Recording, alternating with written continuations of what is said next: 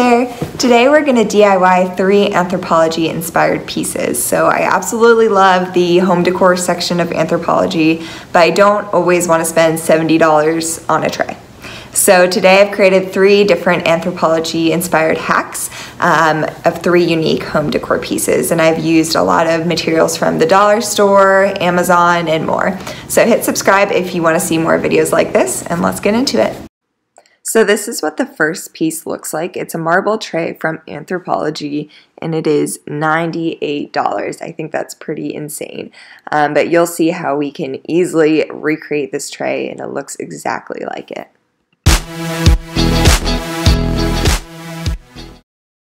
Here's what you'll need. A marble tray, two gold drawer pulls, E6000, and felt furniture tips. So before this, I uh, got some of these felt furniture tips and applied them on the bottom of your marble slab, one on each corner. So this is what it looks like. It allows the um, marble slab to not cut up any surfaces that you want to put it on.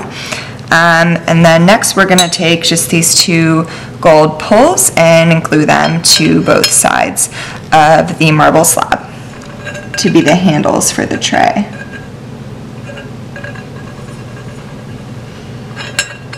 I'm actually going to measure.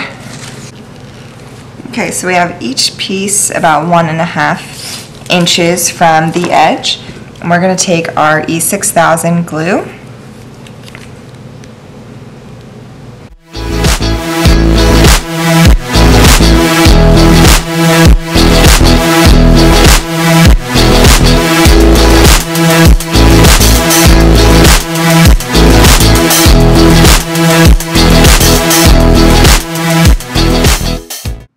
This piece is a stoneware candle holder for $38 and we're going to recreate it with some Sculpey uh, tan clay.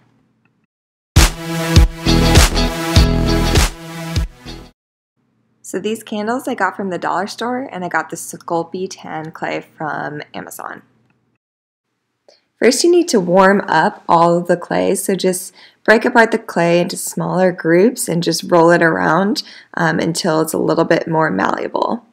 And then after that, we're just going to roll our clay flat, do the entire piece, and you'll have a long, uh, flat strand of clay.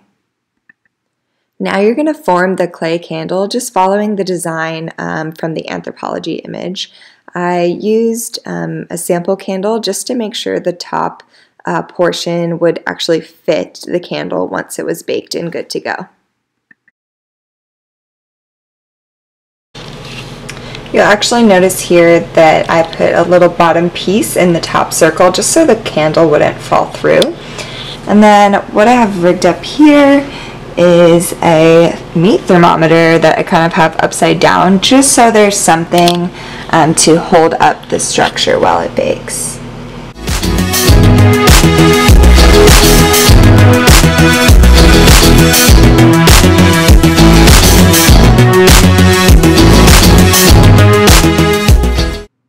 And this last piece is a cup with a little leather accent. So it's not that I'm necessarily trying to make it a ton cheaper because it's already not that expensive, but I was really inspired by the way this looked and I had some scrap leather uh, laying around so I wanted to try it out.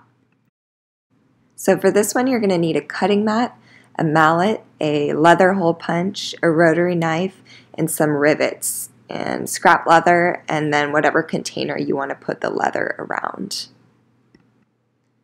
So first you're going to measure your scrap leather, so just bring it around the entire circumference of the container just to see how long you need it to be.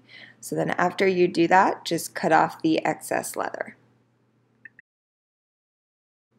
The Anthropologie piece of leather was very thin, so that's what I'm going to do with this scrap piece. I'm just going to use a ruler, uh, my rotary cutter, and the cutting board just to slice a very thin piece of leather. Then you're going to measure your piece again just to make sure the excess leather um, is the length that you want. So mine wasn't, so I wanted to chop off a little bit at the end. And now we're gonna have to do the last step, which is putting in the rivets. So to do this, we're gonna need to punch holes in the leather. I'm using a leather hole punch that I had, um, but I purchased it from Michaels. Some rivet kits also come with leather hole punches. So you're just gonna stick one rivet in the back, um, attach the other piece of leather, and put the rivet cap on top. So make sure you have everything aligned and hammer a good two or three times. Now you see that the rivet is set, everything looks good, so now all we have to do is slide it onto our container and admire the beautiful work.